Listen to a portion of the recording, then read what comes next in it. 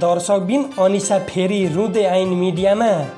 मेरा बाउआमा नै पापी हुन् कञ्चन तिमी बिना म अब कसरी बाँच्नु कञ्चन? भन्दै मिडियामा। नमस्कार आदरणीय दर्शकबिन अहिले तपाईँहरू हेरिरहनु भएको छ भूमिका अनलाइन टिभी युट्युब च्यानल। यो च्यानलमा तपाईँहरूलाई धेरै धेरै स्वागत छ। आदरणीय दर्शकबिन अनिसा फेरि रुँदै आइन् मिडियामा। मेरा बाउआमा नै पापी हुन् कञ्चन तिमी बिना अब म कसरी बाँच्नु कञ्चन भन्दै मिडियामा? यसै विषयमा रहेर तपाईँहरूमा बिल्कुलै नयाँ अनि ताजा फलोअप रिपोर्ट लिएर हामी उपस्थित भइसकेका छौँ। कृपया यो भिडियोलाई अन्तिमसम्म हेरेर र सुनेर साथ दिनुहोला। यदि तपाईँहरू हाम्रो च्यानल भूमिका अनलाइन टिभीमा नयाँ हुनुहुन्छ भने अवश्य पनि हाम्रो च्यानललाई सब्सक्राइब गर्नुहोला। साथै छेउमै रहेको बेल आइकनलाई क्लिक गरेर हामीसँग जोडिनुहोला।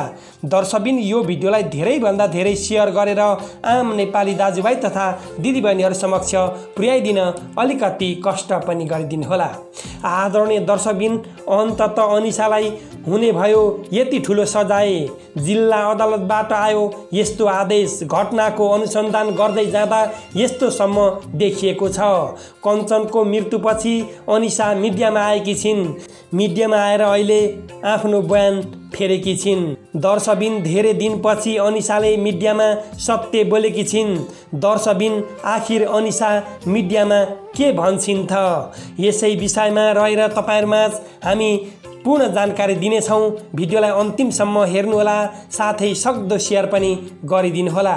यदि तपाईँहरू हाम्रो च्यानलमा नयाँ हुनुहुन्छ भने अवश्य पनि हाम्रो च्यानललाई सब्सक्राइब गर्नुहोला साथै छेउमै रहेको बेल आइकनलाई क्लिक गरेर हामीसँग जोडिनुहोला। दर्शकबिन पछिल्लो समयमा चितवनमा घटेको घटनाले अहिले अनेक प्रकारका टिका टिप्पणीहरू आइरहेका छन् र पक्ष विपक्षका प्रतिक्रियाहरू पनि आइरहेका छन्। दर्शबिन कञ्चनको मृत्युपछि अनिसा मिडियामा आएकी छिन्। कञ्चनको मृत्यु हुनुमा आफ्नो गल्ती रहेको अनिसाले स्वीकार गरेकी छिन्। आफूलाई कञ्चनबाट छुटाउनुमा परिवारको ठुलो हात रहेको बताएकी छिन्। आमा बुबाले यदि तैँले झुट बोलिनस् भने हामी यो संसारमा रहने छैनौँ। भनेपछि आफूले सबै दर्शक तथा मिडियाहरू समक्ष झुटो बोलेको बताएकी छन्।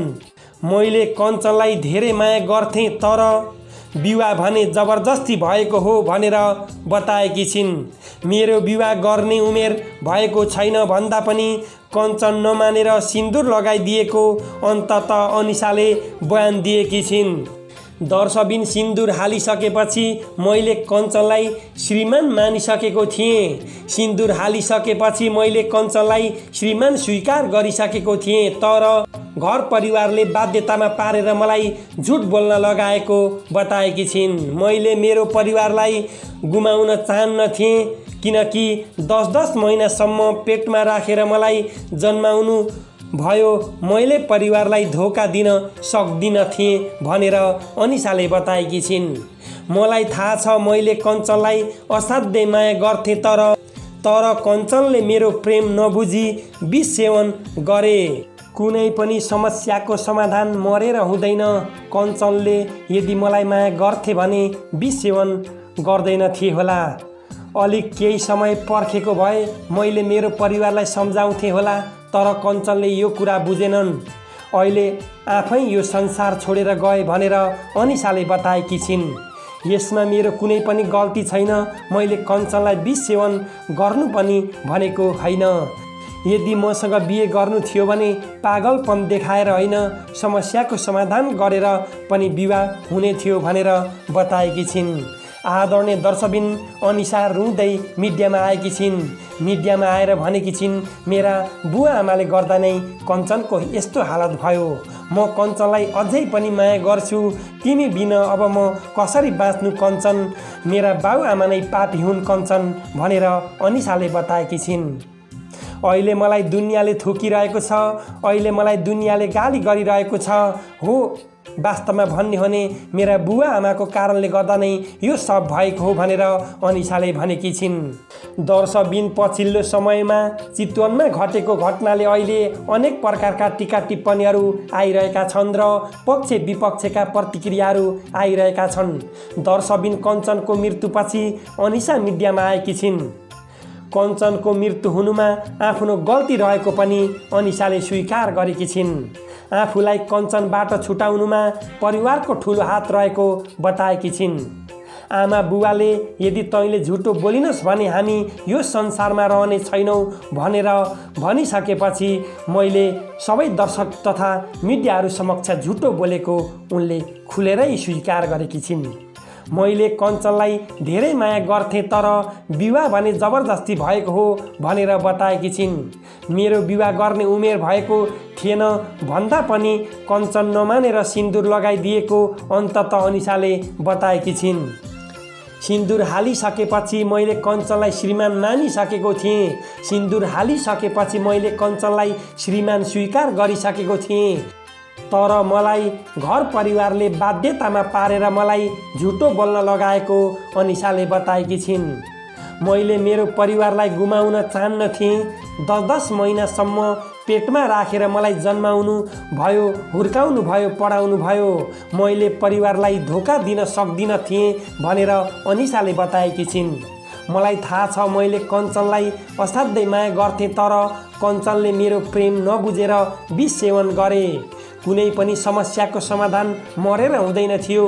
कञ्चनले यदि मलाई माया गर्थे भने विष सेवन गर्दैन थिए होला। अलिक केही समय पर्खेको भए मैले मेरो परिवारलाई सम्झाउँथेँ होला तर कञ्चनले यो कुरा बुझेनन्। अहिले आफै यो संसार छोडेर गए भनेर अनिसाले बताएकी छिन्। यसमा मेरो कुनै पनि गल्ती छैन मेरो घर परिवारकै गल्ती छ भनेर अनिसाले बताएकी छिन्। मैले कञ्चलाई विष सेवन गर्नु पनि भनेको थिइनँ उनले छोटो बुद्धि गरे भनेर अनिसाले बताएकी छिन्। दर्शबिन अनिसा रुँदै मिडियामा आएकी छिन् र मिडियामा आएर भनेकी छिन् मेरा बाउ नै पापी हुन् कन्छन्। तिमी बिना अब म कसरी बाँच्नु? यो संसारले मलाई थुकिरहेको छ यो संसारले मलाई गाली गरिरहेको छ। अब म तिमी बिना कसरी बाँच्न सक्छु र?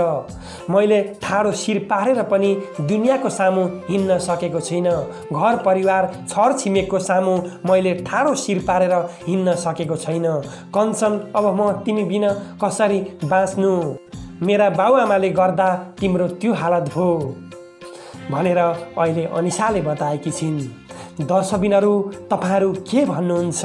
मनमा लागेका जिज्ञासा हाम्रो तलको कमेन्ट बक्समा राखिदिनु होला भन्दै हामी तपाईँहरूमा छुट्टिन्छौँ हस्त नमस्कार जय नेपाल जय नेपाली।